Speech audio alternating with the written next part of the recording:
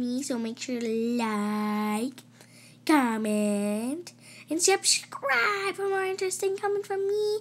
I hope you enjoyed the video and bye.